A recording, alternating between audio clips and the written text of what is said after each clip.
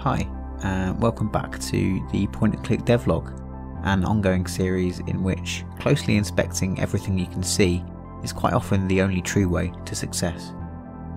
Today I'm going to talk about endings, specifically how the hell do you end a point and click adventure game?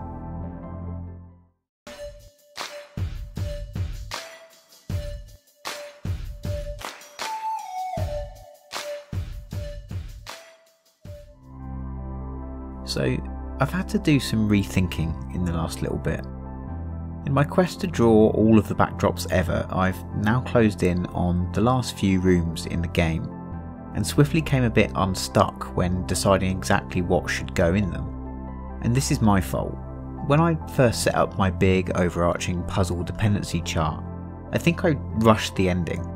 I just put a real simple puzzle in there as the last major thing you do, one that I deem to be fine or adequate, and then put that process to bed and move swiftly onto drawing.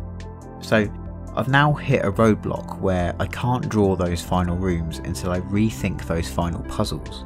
And it spurred me to think about final puzzles, or at least the puzzles of the end game of point and click adventure games as a whole, because I think they're a tricky thing to get right. The thing about point and click games, and I think part of the reason people like them, is that they're quite stress free environments, right? They're quite cozy and slow paced and comforting, which is something that conflicts quite harshly with traditional thinking around how a game should end.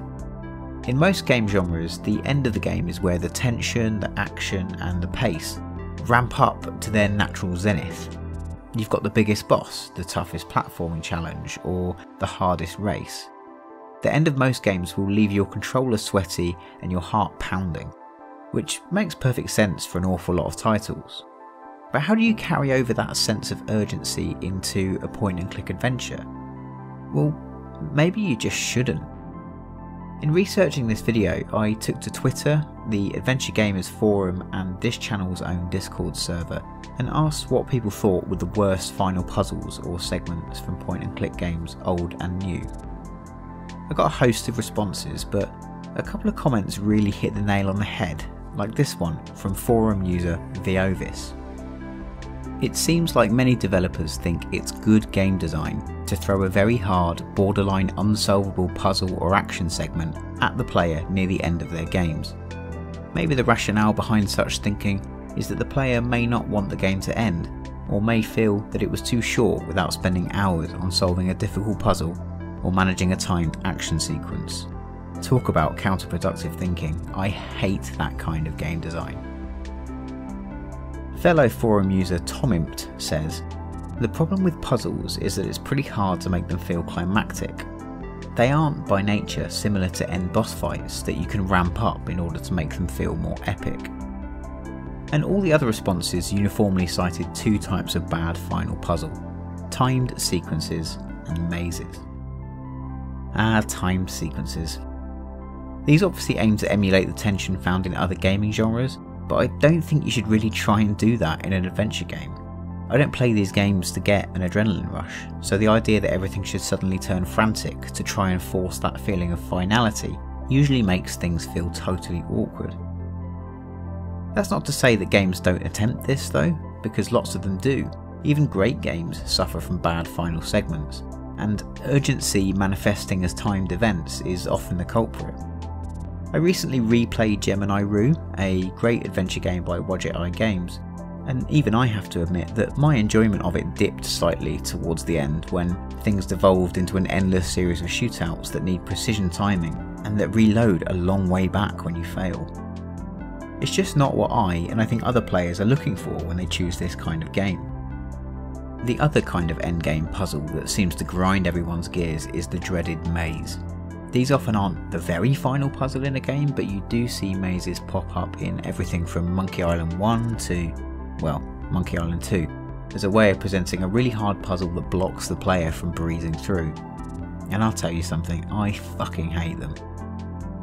I'm not sure anyone likes them in fact. A maze in an adventure game is just a frustration in the shape of a puzzle, and I vow never to put one in any game I make as a result. But it's funny, developers must know that players don't like these things. They must know that timed sequences and mazes aren't fan favourites, and yet they keep cropping up as series staples. Is that just because they're exactly that, staples? Or is it because they seem to be the only way to ramp up towards a climax? And more importantly, is there a more elegant way to do things? Well, if urgency isn't the answer, and you know, nor are mazes, then what's left in terms of making something feel final? What works? That's what I've been thinking about, and I've come to the conclusion that the most important thing is to provide a sense of accomplishment. To me, there are two possible ways to go about this. The first is just to present the player with a really difficult puzzle, but that alone can run the risk of being obtuse for the sake of obtuseness. And also, by the end game, do you really want the puzzles to get infinitely hard? As Viovis put it on my Adventure Gamers forum post, I think a game's difficulty curve, at least in story driven games, should peak somewhere around the middle or three quarters into the game. That far into a game, I usually want to focus more on the story instead of dealing with ever more difficult puzzles. This reminds me of indie darling platformer Celeste, in which the difficulty ramps up to crazy heights near the end, before presenting you with a relatively straightforward final level. And the reason is simple, you know? Letting you revel in how good you've become at the game is much more satisfying than squaring off against even more challenge.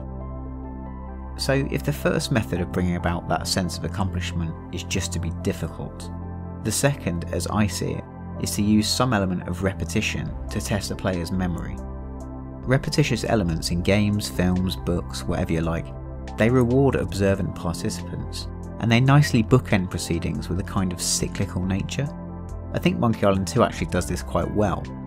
In the final rooms of that game, you figure out you need to make a rudimentary version of the voodoo doll from Act 1. In Act 1, you need to collect something of the thread, something of the head, something of the body, something of the dead. That's a bra, a toupee, some spit, and a bone. And at the end of the game, you have to collect similar things, but it's different objects collected through different means. It's cyclical and rewards your memory rather than being overly obtuse. That's not to say that Monkey Island 2 isn't without obtuse puzzles, and not to mention the fact that that whole ending section does have a timed element to it. But this particular puzzle is elegant in terms of the qualifiers we've already laid out. So, with that all said, what am I going to do with my game? Basically, steal that formula, I think. My original puzzle, the one that I hastily came up with just so I could put an end to my planning, was rubbish. So rubbish that I'm not even going to mention it here. So I've scrapped that and created a mini quest across a few rooms that more or less recreates one from a big part of the earlier game. Will it be perfect? Probably not, but I can tell you this it will be better than having the player need to do something against the clock, and it will be better than a maze. Anyway, that's pretty much it for me for another episode, except for the next few seconds in which I die a little inside and explicitly ask you if you might consider subscribing.